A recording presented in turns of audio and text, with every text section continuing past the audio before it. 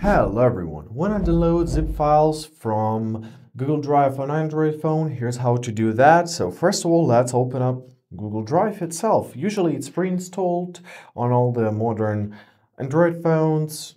If you don't have it, then download it. Let's open up Start because I have my archive added to Start just in the sake of comfort. So simply locate your archive. It may be it will be there where you placed it.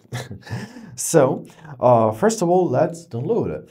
Now tap on the three dots and simply press download. Easy is that. One file was downloaded. Now, where do we find it? Let's open up our file system. In my case, it's files by Google.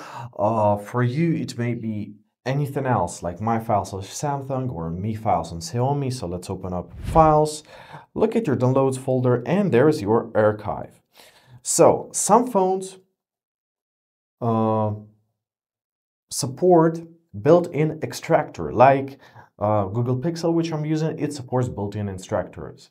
Samsung phones usually don't support it. So the next steps depend on your phone.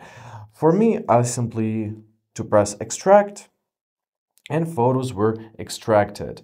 Uh, you can choose to delete zip file if you want to, simply press done, and here's the contents of the zip folder. This cutie cats. Uh, let's tap on it again.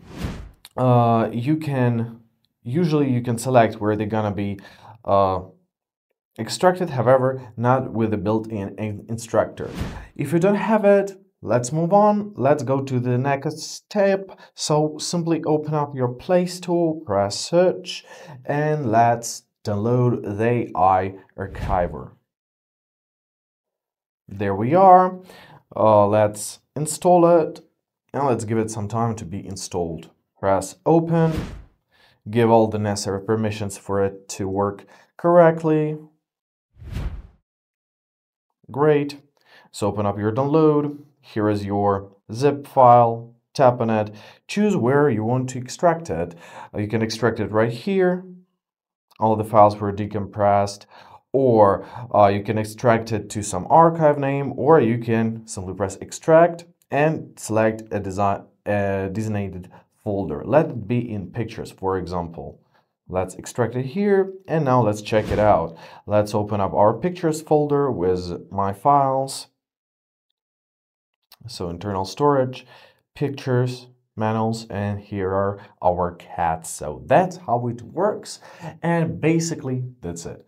I hope this video was helpful. Thank you so much for watching. Have a great day and please consider subscribing to our channel.